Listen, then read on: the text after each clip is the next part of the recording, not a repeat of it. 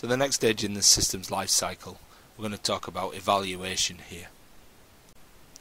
So this makes it appear quite simple, this definition here. And it is quite simple really, so long as certain factors are in place, which we're going to talk about in a minute, regarding criteria.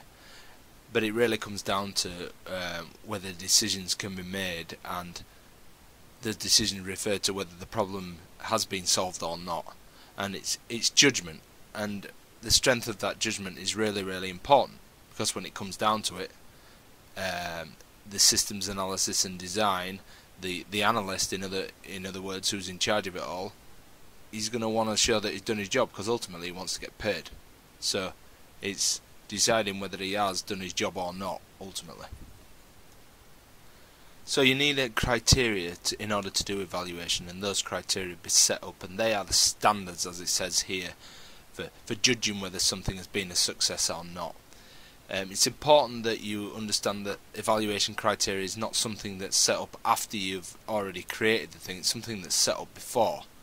And it's really important that you're clear about what those criteria are, and in the notes um, there is some good examples of, of clarity and all that kind of thing, and also coverage as well. You want to cover as many of the um, features and as many as the, the facets, in other words, the elements of output, the elements of input, and the elements of processes that are really important to the system in order to get good coverage of the whole system as to whether it has um, done the job it's supposed to do.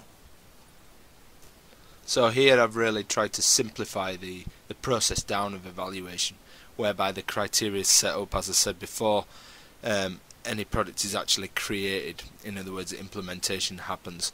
And this evaluation criteria is then judged upon after implementation occurs. So after the thing's been put together and put in place you can then test it to see if it meets the criteria and that's really what we're on about this threefold process with criteria set in the middle the thing gets done then it gets tested on afterwards so as far as the testing goes, um, the aim as it states there is just to prove that the system works. And we call this functional testing, that's what it's usually called in this respect. We'll go into different elements of testing later on.